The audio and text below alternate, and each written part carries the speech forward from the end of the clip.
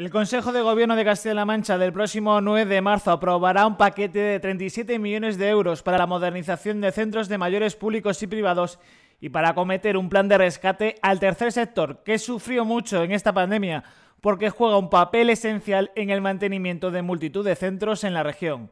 Así lo afirmó el presidente regional Emiliano García Paje en la inauguración de nuevas viviendas tuteladas con apoyo para personas con discapacidad en la provincia de Toledo. No vamos a parar.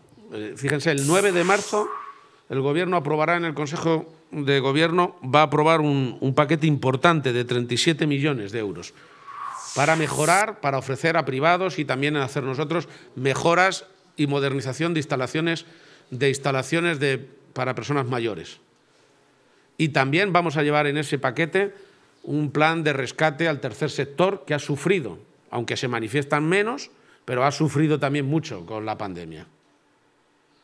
Y que hay que rescatar y que salvar porque además juega un papel esencial para el mantenimiento de multitud de centros de todo tipo que tienen mucho que ver con el servicio público y al final con, con nuestra propia realidad.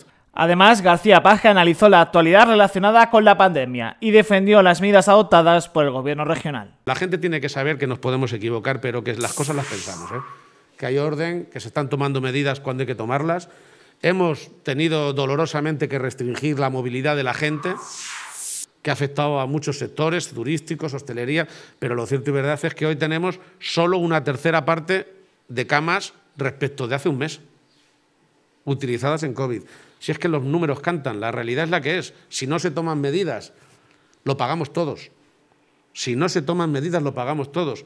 La culpa no es de nadie, pero la responsabilidad de arreglarlo sí, es de todos. Que les estoy hablando, ya podemos decir que hemos vacunado al 80% de las personas de más de 95 años.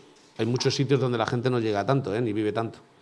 Pero aquí afortunadamente tenemos mucha población muy mayor y nos sentimos muy contentos porque significa mucho. Primero que tenemos una enorme red de residencias y de atención a la gente mayor.